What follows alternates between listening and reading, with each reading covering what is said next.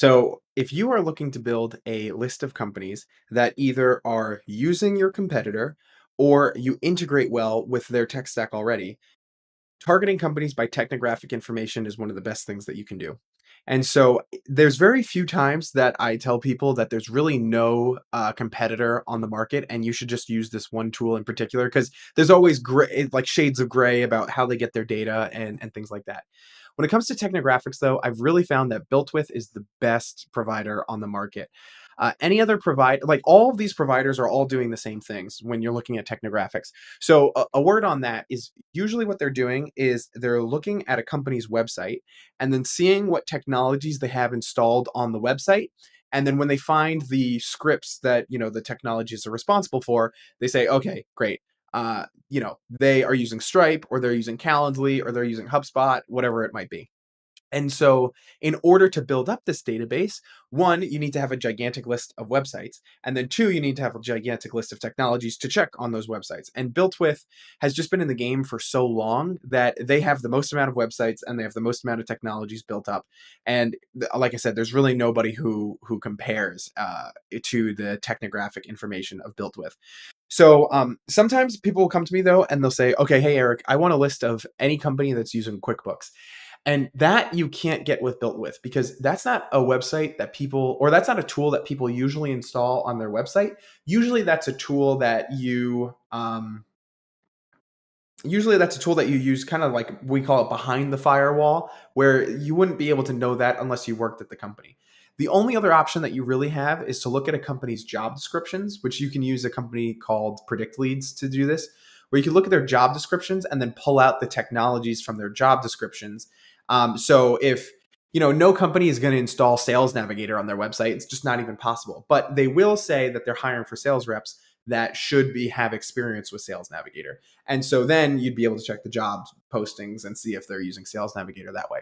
But so BuiltWith works off of if you install it on your website. Very phenomenal tool, really really simple to use.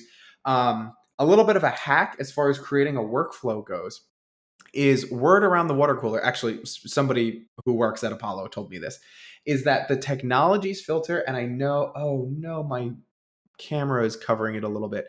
Um, there is a technologies filter inside of Apollo.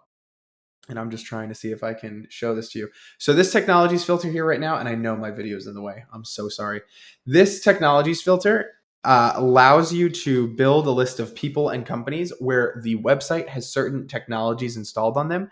In this use case, I'm looking at Shopify right here, and these are all companies that have Shopify installed on their website.